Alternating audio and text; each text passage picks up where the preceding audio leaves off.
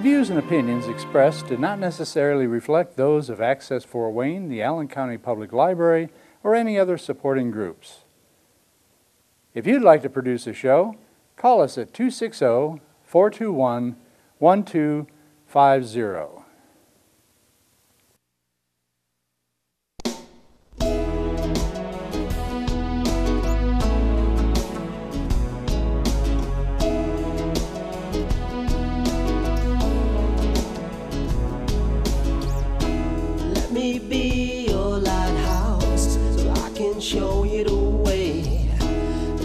Be your shining light, I'll keep you from drifting away. I'm the one that makes you try when. This is Patty Hunter of Patty's Page. Welcome to my show. Today's special guest is Michael Reagan. He is an artist, well-known portrait artist. So tell me, where were you born and raised? Born and raised in Seattle, Washington in 1947. Mhm. Um, I lived in a small town south of Seattle when I was born, Burien, Washington. Um, but most of my time was in Seattle. Moved to Seattle when I was probably in the second or third, you know, year of my life, and uh, grew up around Woodland Park. And went to Lincoln High School, and you know, lived up by Woodland Park and that area. Everybody knows where North Seattle's at, and I was close to that. So I see your calico. we have four cats, and I can't assure you that not all of them might be on this piece sometime. Well, I have two cats. One named Angus. He's a uh, Abyssinian cat. He's a curious little mutt. I have a, I had that was our rescue cat you just saw leave, but we also have a white cat. His name is Indiana. He came from Moscow, Russia. He's a Maine Coon. if he walks through, the screen will block. He's that big. Do they sit on your lap when you're talking on the Zoom? Sleep on my head. Okay. My my favorite kitty, Casey, um, passed away on April 10th after about 15 years, and he used to actually sit with me when I drew. So Our condolences. It was, a- as we all know, all of us of age know, um, when you lose a pet, it's pretty hard. But you have to remember all the good years that you had them, not just the time you lost them. But that guy right there is pretty cool. He just walked by again, so there's no telling what they're going to do. I don't. I don't try and control them. oh, why should you? They got the mind of their own. I hate to put it this way, but as long as they go to the bathroom where they're supposed to, I'm happy as I can be. So the schools that you had gone to, what did you major in then? Well, the at, at Lincoln High School, what happened? Let me tell you a little story. Um, I was one of those kids who played sandlot football with a lot of friends of mine. Oh, cat! They, Played a sandlot football with a lot of my friends, and no pads. We just smash into each other a couple of days every week. You know, Mhm. Saturday and Sundays at the park. And one day, uh, I smashed into a guy who was much bigger than me, and he didn't like it, so he smashed back into me oh, and broke my and broke my left arm. So I couldn't play football. And so one day I was sitting on the couch in my house and picked up a magazine that had Katharine Hepburn on the cover. I think it was a Life magazine, I believe. I should check that out sometime. mhm. Anyway, um, drew her portrait and everybody loved it. And that kind of perked the interest in being an artist. And right away that that was the summer of uh, uh, 40, uh, 52, no, 62, summer of 62. And uh, I just started taking art courses at Lincoln High School that I, everything I could take that was art, I took. And because that was my interest, I knew there was something there I wanted to do, and I just wasn't sure. I was a young kid, you know. Mm. But then all through Lincoln, I took all the art courses I could possibly take.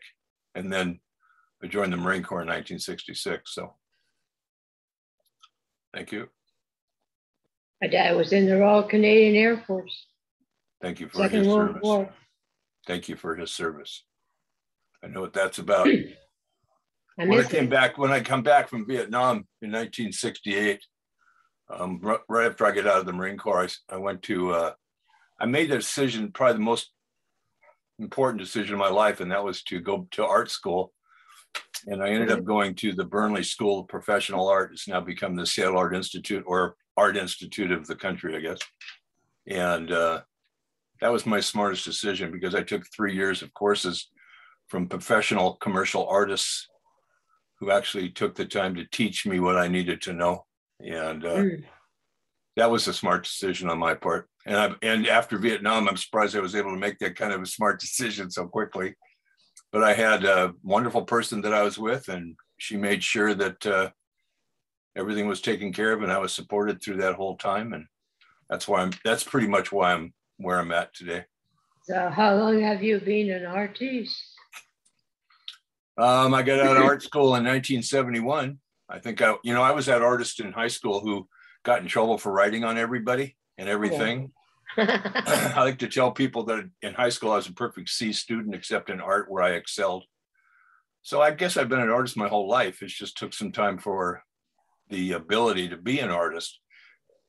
so what did Just you because, well, just because you're artistic doesn't make you an artist. Um, there's a lot of patience and a lot of hard work that goes into it. Any artist will tell you that, and uh, a lot of sacrifice. But I wouldn't trade everything I've done to get to here, um, even the bad stuff, because it's made me who I am right now. So So he's bedding down here. I love cats. Yeah, it couldn't be any more perfect. It's beautiful. Two and a half years old, this kid. You know, it's interesting. When I was in high school, I hope I, I'll just tell you this story. When I was in high school, I dated a young woman who I cared for a great deal, still do. Her dad was a local commercial artist. His name was Gus Swanberg, Chuck Swanberg. Mhm. And uh, I watched him do his business. I watched him do his job. And it's like that. I kept saying, that's what I want to be. Okay. Not realizing how difficult it was going to be to do that. And he knew it too. And so he, you know, during high school, while I was dating his daughter, you know, he helped me out, taught me a lot of stuff that I don't think he realized he was teaching me. He actually discouraged me from being an artist because he said to really be a successful artist takes a, a great deal of patience and uh, some heartbreak. And Yeah. he says, you got to understand this. But when I came back from Vietnam, um, I married his daughter and went to art school Mhm. and, and the professional art school. And of course, he was one of the teachers my third year. And he said, Well, you made it this far. He said, So let me teach you what you need to know now. And uh, he says, I'll, he says, We'll get you where you want to be. And he did. He uh, actually took me aside and, and uh, was hard on me, but fair. And he taught me all that stuff. So Gus Swanberg, I noticed in uh, some of the questions people ask me sometimes, they want to know who my mentors were. Gus Mhm. Swanberg was one of them because of what I just told you. And then another guy I met in art school, who I still have as a good friend, another artist named Austin Dwyer. Um, what these guys taught me was there's never going to be the best artist in the country. There's just going to be a lot of artists, and then some are going to be part of the very good artists. He said, What you need to do to succeed is you have to plan on trying to be one of the very good artists that other people want to participate with. You know, it's like writing, it's like doing what you do, it's music, whatever. Um, there's a lot of people out there who have the talent, a lot of people who um, have the breaks, um, but anybody can actually succeed um, if they work hard enough. Yeah. If they have, if they're lucky enough to have some of the people I've had in my life, and uh, that's why I'm here again. Um, Vietnam also taught me a lot about life. Period. Um, I was a combat veteran at the DMZ in '67 and '68 Oh, with the Marine Corps. And so I learned a lot about life and death. So when I returned from war, um, I was pretty, I was real clear on what I needed to do for the rest of my life. I just wasn't sure what those elements were going to be of what I was going to do. Not the case today. I know exactly what I'm doing today. So uh, you picked portraits to do. Yeah, I was. Uh, we had a dinner theater in Seattle called the Cirque Dinner Theater, and we would bring a lot of actors like Van Johnson and and you know a lot of people I could name, but I'm I, I wouldn't name them, and maybe your viewers wouldn't know who they were. I But, well, you know, you well, you and I speak the same language. I was, you know, I wasn't going to say that, you know, but it's like, um, a lot of actors and actresses from 50 years ago would come through there because that's what my age was. Yeah. And so I'd meet a lot of them. And uh, but for six years I I did portraits at the dinner theater. I'd gotten divorced from my friend's from my mentor's daughter. Oh, And uh, that was that was harsh. It, it, it took some, you know, some things away. yeah. Um, but the Cirque Dinner Theater kind of filled some of that void, and I started meeting a lot of celebrities, and I came up with this idea. Since I'm meeting with these people, uh, maybe I could get them to autograph some blank illustration boards that I could then redraw on for around the country. Mhm. And uh, that decision changed my life in a way that I wouldn't realize for about 30 years. And uh, because they all knew me, I mean, there was no, it was not a question. They just, they loved to help me out because they liked what I was doing for the theater.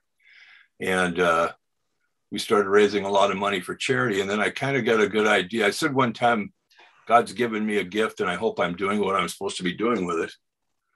And uh, what happened What did you was, yeah, I mean, it became very clear to me the first time I sold one of my portraits. This is a, you know, 40 years ago Mhm. for two thousand dollars. Wooly doggy. That was autographed by a celebrity, and then I thought, well, maybe this idea has got some merit. And since that time, and I think I sent you the video from Yes. 2004 uh, Evening Magazine did. If I didn't, I will. Um, where they actually did a story on me because they realized I'd raised about $10 million for local charities with these signed drawings, which Was uh, it did exactly what I wanted it to do. I just didn't know I wanted it to do that. You're just following what God has led you into. hey, you know, it's like I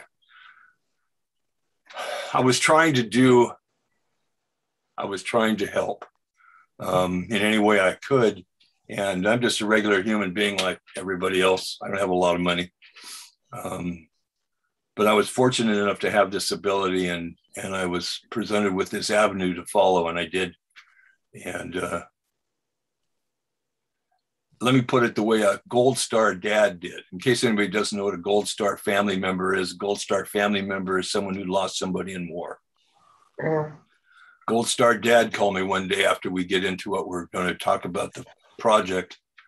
Um, he said to me, You know, all the work you're doing for the Gold Star families is doing for you. And of course, I didn't know what he was talking about because it's I do it for free.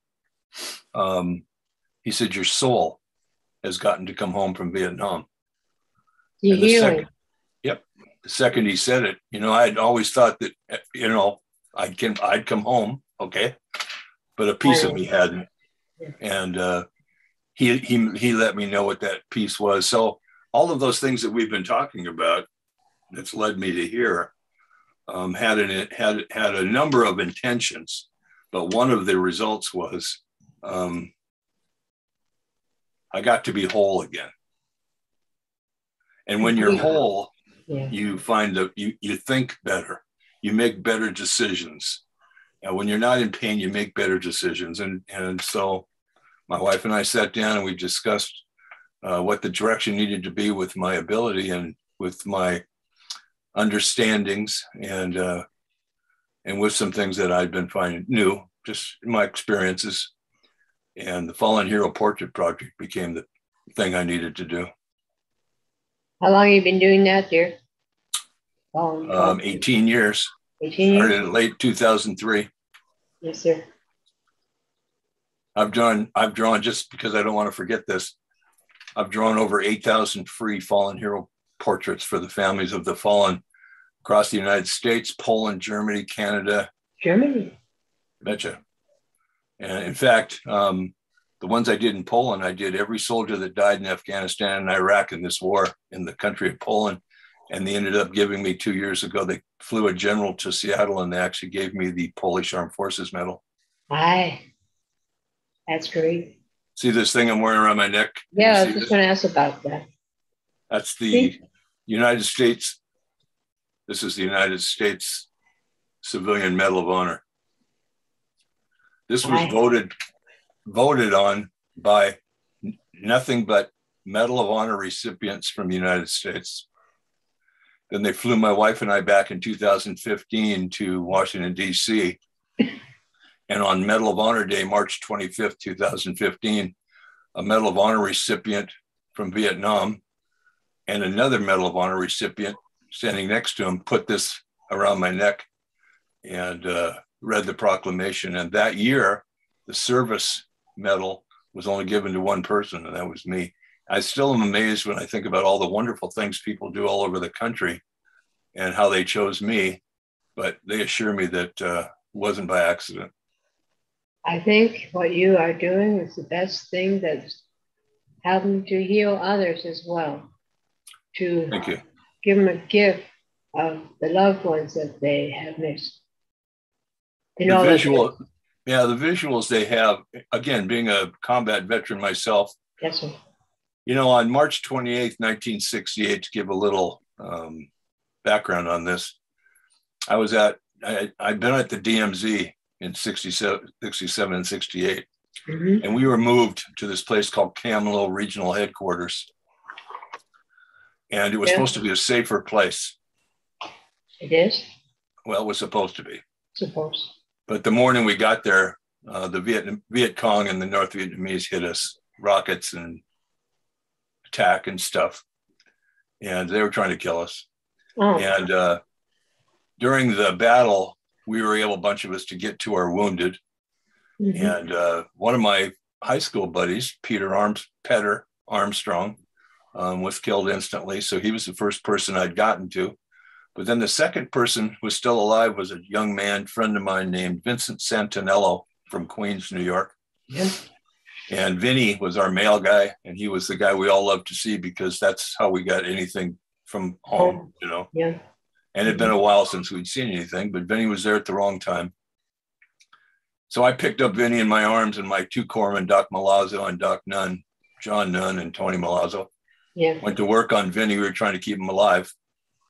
And uh, we were young kids. You have to remember, you know, femoral arteries and things like that. We probably knew what they were, but we probably didn't understand the impact of when they're severed. And he had had some bad shrapnel wounds, Vincent had. We called him Saint, by the way. Um, he wasn't going to make it. And at the last few minutes of his life, and I was holding him so he wouldn't be alone, Mhm. and we were all trying, everyone was trying to keep him alive. He looked up at me and he says, Mike, I just want to go home. And he closed his eyes and died. With And Lord. that's a face, well, that's a face I see every day. And if you look back up behind me, with the cap. That's Vincent. And uh, He was young. How old young were you? 19, 19? Ooh. we were babies. Like I said, uh, when my wife and I were talking about this the other night, we went over, I, got, I joined the Marine Corps when I was 18 Mhm. and uh, went to Vietnam when I was 19 and I came back 30.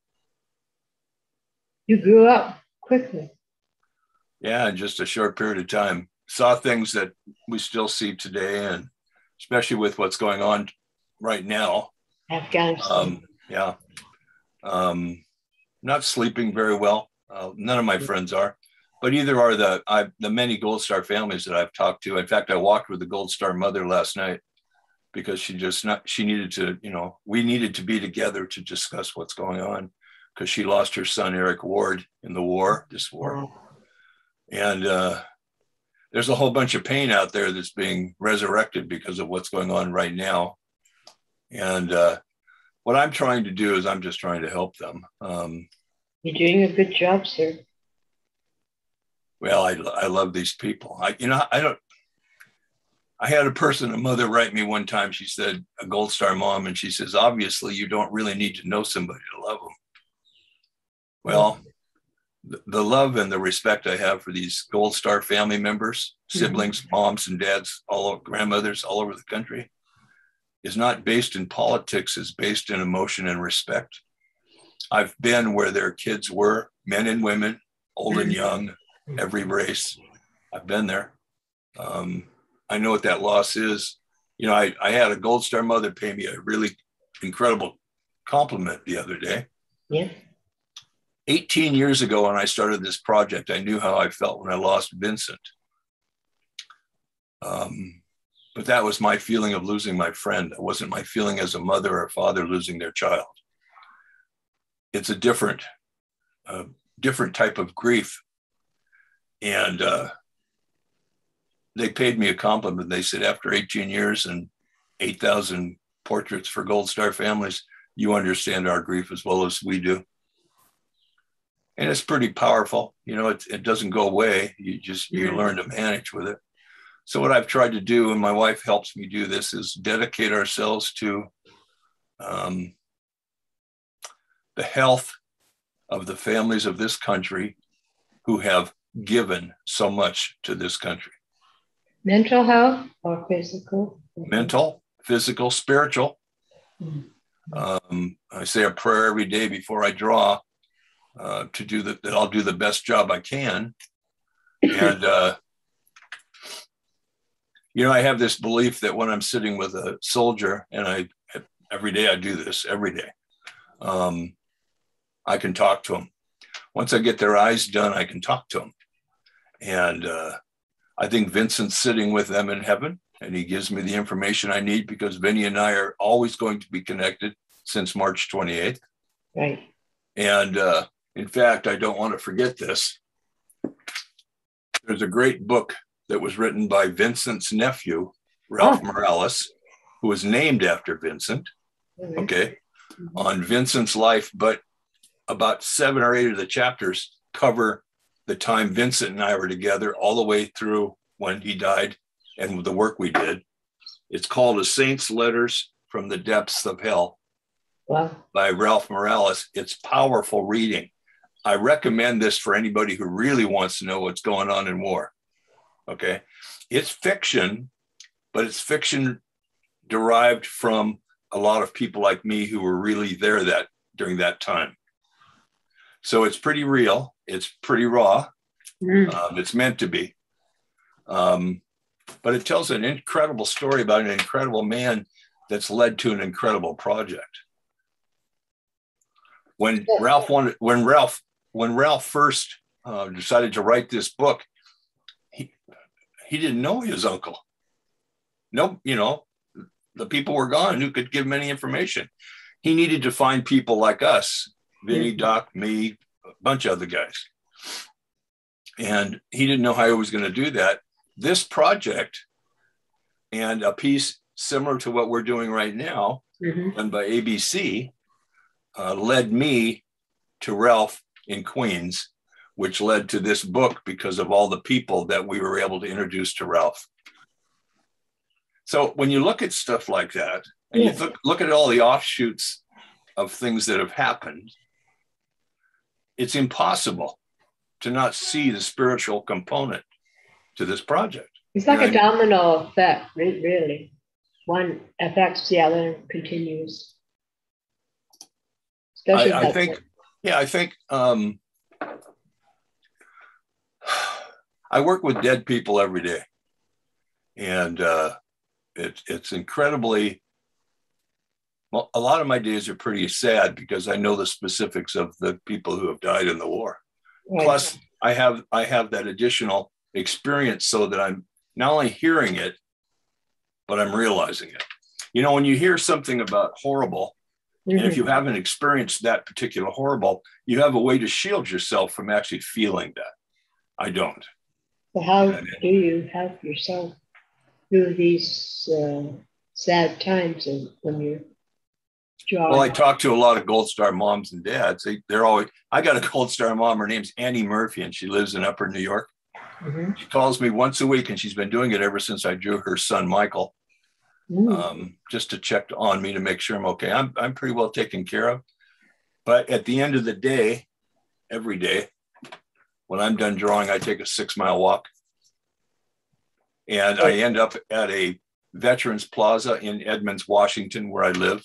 Mm. where Peter and Vinny have pavers that I actually am able to take some time and say goodnight to them. Can I tell you a story about how the project actually started? No, okay. As I said to you, I used to do portraits of celebrities and we do fundraisers with them with the signed boards. and we'd raise like $10 million. Mm. And so Evening Magazine did a piece on me in 2003. And again, I can send that to you if you haven't, if I already have it. Sure, I'd like to see. It's uh remember to turn up the sound because it was transferred from tape when I send it to you. Okay. But what it is is they realized that I'd raised millions of dollars with my drawings. but one of the group of people that I was now remember I'm an artist and I'm a Marine. So I was the artist with the Playboy Playmates for six years. And during my interview with Evening Magazine, I mentioned that. Okay. Mm-hmm. Mhm. And of course, that brings all kinds of interesting reactions. I bet it did. And after a seven hour interview, after I answered the question, it actually ended the interview, which was really good because I was tired, you know. Mm.